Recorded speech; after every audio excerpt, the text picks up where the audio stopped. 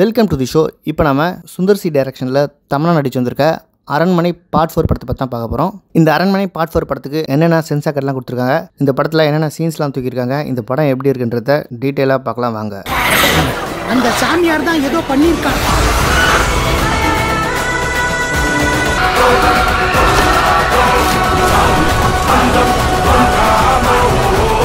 அரண்மனை part four இந்த படம் கிரிஞ்சு தான். இந்த படம் கிரிஞ்சு தான். பழைய கதை தான். அரைச்சமாகவே தான் அரைச்சிருக்காரு. படம் உட்கார முடியல. எப்படா முடியும்? அப்படின்ற எண்ணத்தை சுந்தர்சி பல படங்கள் நம்ம உருவாக்கியிருக்காரு. அதுவும் ஜெய்யை வச்சு சுந்தர்சி ஒரு படம் எடுத்தாருன்னு வச்சிங்களேன். எப்பா சொல்லவே தேவையில்ல. உலகின் மிகச்சிறந்த நடிகன் அவன். எப்படி தான் அவர் வச்சு பட்டாம்பூச்சி காஃபி வித் காதல் எடுக்கிறாருன்னு தெரியல. விளங்காத மூஞ்சி அது. டாமல இருக்க ஓவர் கான்ஃபிடென்ட் யார் வச்சு வேணாலும் என்ன ஹிட் கொடுக்க முடியும்னு. ஆனால் இப்போ தெரிஞ்சிருக்கோம். இந்த நடிகெல்லாம் வச்சுக்கிட்டு ஒன்றுமே பண்ண முடியாதுன்னு. நீ எல்லாம் எதுக்கு எத்தனை வருஷம் டேரக்ஷன் இருக்க? தயவு செஞ்சு ரிட்டையர் ஆகிட்டு போயாண்டு. மக்கள் கதறாங்க சுந்தர் சி பேரை பார்த்தாலே போஸ்டரில் என்னையா இந்த அளவுக்கு கிண்டலும் கேலியும் பண்ணுறீங்க நான் யாருன்னு நிரூபித்து காட்டுறேன். இந்தா வச்சு அரண்மனைன்னு வந்திருக்காரு. என்னது அரண்மனையா? அப்படின்னு மக்கள் பேயை பார்த்த மாதிரி பிச்சுக்கிட்டு தான் ஓடுறாங்க. இருந்தாலும் ஒரு கியூரியாசிட்டியில் அப்படி என்ன தான் இருக்குன்னு பேயை ஓரம் ஒழிஞ்சு எட்டி பார்ப்பாங்க தெரியுமா? அந்த மாதிரி தான் இந்த படத்தை பல பேர் பார்க்க வந்தாங்க. எட்டி பார்த்த எல்லாரும் கொஞ்சம் கொஞ்சமாக உள்ளே வந்து பரவாயில்லையே இந்த பேயை கொஞ்சம் பார்க்கலாம் போல இருக்கே அப்படின்ற எண்ணத்தை எல்லாரும் மனசுலையும் வர வச்சுட்டாரு சுந்தர் சி இந்த படம் சென்சாரான டேட் அஞ்சு நாலு ரெண்டாயிரத்தி இருபத்தி நாலு. இந்த படம் எடுத்து வச்சு ரொம்ப நாள் ஆகுது. ரிலீஸ் பண்ண முடியாமல் வெயிட் பண்ணுறாங்கன்னு ஒரு கதை ஓடிக்கிட்டு இருக்கு. அப்படிலாம் இல்லை. இந்த படம் சென்சார் இந்த மாதம் தான் இருக்குது ஸோ புது படம் தான். இந்த படத்தோட duration hundred and forty seven minutes point twenty seconds அதாவது ரெண்டு மணி நேரம் இருபத்தேழு நிமிஷம் இருபது நொடிகளோட கூடிய ஒரு தரமான சைஸ் இருக்க படம் தான். இன்டர்வலாக சேர்ந்தால் படம் முடிய கிட்டத்தட்ட ரெண்டே முக்கால் மணி நேரம் ஆகும். இது ஒரு யூஎஸ் சர்டிஃபிகேட் படம். இந்த படத்தோட producer Avani cine creation Khushbu censor கொடுத்து டி பாலமுரளி இந்த படத்துக்கு ட்ரையாங்கல் கொடுத்து சில பல சென்சார் கொடுத்துருக்காங்க. ஆனால் அந்த சென்சார் சர்டிஃபிகேட்டே துண்டு துண்டாக கட்டாயம் தான் நம்மகிட்ட வந்திருக்கு. படத்தோட கிளைமேக்ஸில் வர தமன்னாவுடைய ஐட்டம் டான்ஸை நிறைய இடத்த பிளர் பண்ணி விட்டுருக்காங்க. அதுதான் இந்த படத்தில் சென்சார் டீம் செஞ்ச ஒரு பயங்கரமான வேலை. தேட்டரில் தவனாவுடைய முகத்தை மட்டும் தான் நீங்கள் பார்க்க முடியும். மற்றபடி இந்த படத்தில் சொல்லிக்கிற மாதிரி பெரிய சென்சார் கட்லாம் இல்லை. சரி இந்த படம் எப்படி இருக்கு பார்க்கலாம் வாங்க. கடைசியாக ஆரிய நடிச்சு வந்த அரண்மனை பார்க். உண்மையிலே அட்டர் ஃப்ளாப் படம். அந்த படம் சுத்தமாக ஓடவே இல்லை. இப்போவும் சுந்தர் சி கிளைம் பண்ணுறாரு அரண்மனை சீரிஸ் வந்தது எல்லாமே சூப்பர் ஹிட்னு அப்படிதான் இல்லை அரண்மனை பார்ட் ஒன்று தான் பெரிய ஹிட்டு அரண்மனை பார்ட் டூ படம் சுமாராக இருந்தாலும் கிட்டத்தட்ட பார்ட் ஒன்னுடைய கலெக்ஷனை வாங்குச்சு. ஆனால் அரண்மனை பார்ட் த்ரீ சுமாராக கூட இல்லை சூரமொக்க படம். தேட்டரில் ரெண்டாவது நாளே பத்து பேர் வரல. கிட்டத்தட்ட இந்த வருஷம் ரிலீஸ் ஆன எந்த தமிழ் படங்களுமே கில்லியை தவிர்த்து எதுவும் பெருசாக ஓடலை. இந்த அரண்மனை பார்ட் ஃபோர் என்ன விதிவிலக்கா? அது மட்டும் இல்லாமல் சுந்தர்சி என்ன சூப்பராக படம் எடுத்துருக்க போகிறாரு நிச்சயம் இந்த படமும் செம்ம மொக்கையாக தான் இருக்கும்னு நினச்சோம். அதுவும் கடைசியாக சுந்தர்சி காஃபி வித் காதல்னு ஒரு காவியத்தை எடுத்திருந்தார். சுந்தர் சி டைரக்ட் பண்ணதுலேயே உலகமகா மொக்கனா அந்த படம் தான். அந்த படம் ரிலீஸ் ஆன அதே நாளில் தான் லவ் டுடேன்னு ஒரு படம் ரிலீஸ் ஆச்சு. அந்த படம் ஒரு பிளாக் பஸ்டர் படம். எல்லா தேட்டர்லையும் பிச்சுக்கிட்டு ஓடிச்சு. எல்லா தேட்டர்லையும் அந்த படத்தோட ஸ்க்ரீன் இன்க்ரீஸ் பண்ணுறதுக்கு அந்த காஃபி வித் காதல் படத்தை தூக்கிட்டு லவ் டுடே ரெண்டாவது நாளே போட்டாங்க. அது மட்டும் இல்லாமல் ஒரு குறிப்பிட்ட ஆடியோ லான்ச்சில் சுந்தர் சி முன்னாடியே லவ் டுடே ஹீரோக்கு அவ்வளோ பெரிய அப்ளாஸ் கிடச்சிது. அதை பார்த்து வெட்கி தலை குனிந்தார் சுந்தர் சி. அந்த டைமில் அந்த மேடல் இருந்தவங்க பல பேர் வயிறு இருந்தாங்க அதில் சுந்தர் சிங் ஒருத்தர். ஒரு காலத்தில் உள்ளத்தை அளித்தா மேட்டுக்குடி அருணாச்சலம் கலகலப்புன்னு எடுத்தவர் தானே. எங்களுக்கும் படம் எடுக்க தெரியுன்றத இந்த அரண்மனை பார்ட் ஃபோரில் ஓரளவுக்கு நிரூபிச்சிட்டாரு. எப்படியும் ஃப்ளாப் படம் தான் அப்படின்னு நினச்சி பார்த்தேன் நமக்கு பேர் அதிர்ச்சி ஒன்று காத்திருந்தது. இந்த படம் முடியும் போது ஆடியன்ஸ் யாருமே இந்த படத்தை திட்டலை.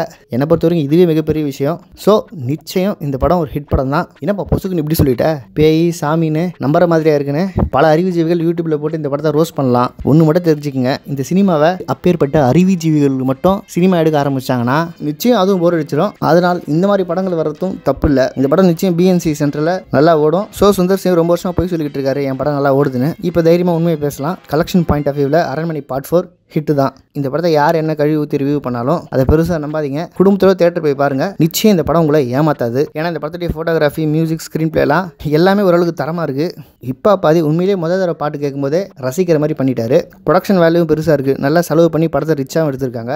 குறிப்பாக கிளைமேக்ஸ் ஓ யோகி பாபு கோவை சர்லா விடிவி கணேஷ்லாம் அவஞ்சஸ் டீம் மாதிரி அசம்பிள் ஆகி பேய பெயிண்ட் டபால் அட்டாக் பண்ணுறதுலாம் ஒட்டுமொத்த தேட்டரும் சிரித்த காட்சிகள். இந்த படம் எப்படி எப்படியோ சுற்றி போனாலும் லாஸ்ட் ஒரு ஆஃப் அன் அவர் படம் உங்களை கவனிக்க வைக்கும். அதுக்கு ஒரு முக்கிய காரணம் அவருடைய காண்டாக்காத நல்ல பர்ஃபார்மன்ஸும் கூட. விஜய் சேதுபதியும் பல வருஷமாக சூரமொக்க படம் தான் நடிச்சு வந்திருக்காரு.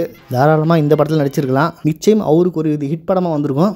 ஏன்னா சுந்தர் சி கேரக்டர் வழக்கமாக தேவையில்லாத நிறைய டைலாக் பேசிக்கிட்டு அவருக்காக மொக்க ஃபைட்டெல்லாம் வச்சிருப்பாரு. ஆனால் அந்த கொடுமையெல்லாம் இந்த படத்தில் இல்லை. லவ் சீன்ஸ் டூயட்னு வச்சு மேலும் நம்ம இதயத்தை பலகீனமாக ஆக்கலை. இந்த படத்தில் மிக மிக பாராட்டுக்குரிய செயல் அது. காவாலா பாட்டை பார்த்துட்டு தான் அதே மாதிரி இந்த படத்தில் ஏதாச்சும் தவணா பண்ணுவாங்கன்னு படத்தை பார்த்தாங்க. ஆனால் இந்த படத்தில் வேற ஒன்று பண்ணியிருக்காங்க அதுவும் ஏற்றுக்கொள்ளும் விதமாக இருந்தது.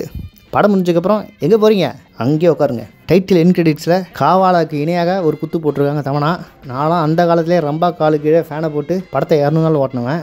என்கிட்டேருந்து எந்த ஹீரோயின் எஸ்கேப் ஆக முடியாது. அப்படின்றத மீண்டும் நிரூபித்துள்ளார். மக்கள் மனசை நல்லா புரிஞ்சு கிளைமேக்ஸில் தமனாவை தோல் உரிச்சு நல்லா காட்டிருக்காரு சுந்தர்சி. வாழ்த்துக்கள். அந்த இடத்துல தான் இளைஞர்கள் சுந்தர்சிக்கு சப்போர்ட்டாக சாஞ்சாங்க. சுந்தர்சி மேலே இந்த வெறுப்பை முழுசாக மறந்தாங்க.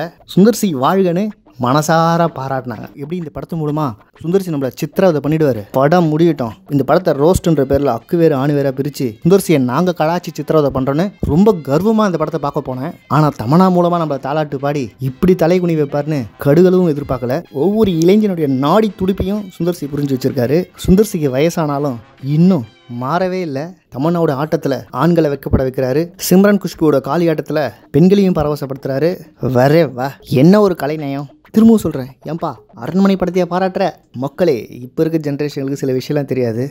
கிரின்னு ஒரு படம். அந்த படத்துடைய கதை திரைக்கதை சாங்ஸ் ஃபைட் எல்லாம் அப்படியே டிட்டோ பல படங்களோட காப்பி ஆனால் அந்த படம் தேட்டரில் நல்லா ஓடுச்சு தெரியுமா? எனது கிரி படம் நல்லா ஓடிச்சா? அன்றைக்கி அந்த படத்தை தேட்டரில் போய் பார்த்தவங்கள போய் கேளுங்க. நல்லா ஹவுஸ்ஃபுல்லாகவே ஓடுச்சு. எந்த புதுமையுமே இல்லைனாலும் ஒரு சில படங்களுக்கு அந்த மேஜிக் ஒர்க் அவுட் ஆகும்.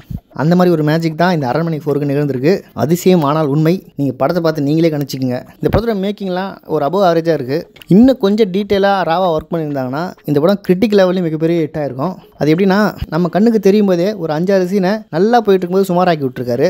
உதாரணத்துக்கு கிளைமேக்ஸில் ஒரு முப்பது செகண்டுக்கு அம்மன் நிஜமாக எழுந்து வந்து அரக்கனை வதம் பண்ணுற மாதிரி காட்டுறாங்க. அது ஃபுல்லாக த்ரீ டி அனிமேஷன் கேரக்டராக பண்ணியிருக்காங்க. நம்ம ரம்யா கிருஷ்ணனை கூப்பிட்டு பழைய அம்மன் கெட்ட போட்டு அந்த சீனை மட்டும் எக்ஸிக்யூட் பண்ணியிருந்தாங்க வச்சிங்களேன் இன்னும் படம் வேறு லெவலில் போயிருக்கோம். ரம்யா கிருஷ்ணன் ஒரே ஒரு நாள் நடிச்சு கொடுத்துருந்தா போதும். சுந்தர்சியோட மொக்க ஆம்பளை படத்தெல்லாம் நடிச்சிருப்பாங்க. இதில் எப்படின்னா கேட்டு ஒரு நாள் கால் ஷீட் வாங்கியிருக்கலாம். இந்த மாதிரி இந்த படத்தில் கண்ணுக்கு தெரிஞ்ச ஒரு சில கரெக்ஷன்ஸ் இருக்குது இப்படி இதை கொஞ்சம் மாற்றி இப்படி ஃபினிஷ் பண்ணியிருந்தா இன்னும் நல்லா வந்திருக்குமே அப்படின்னு தோணுது.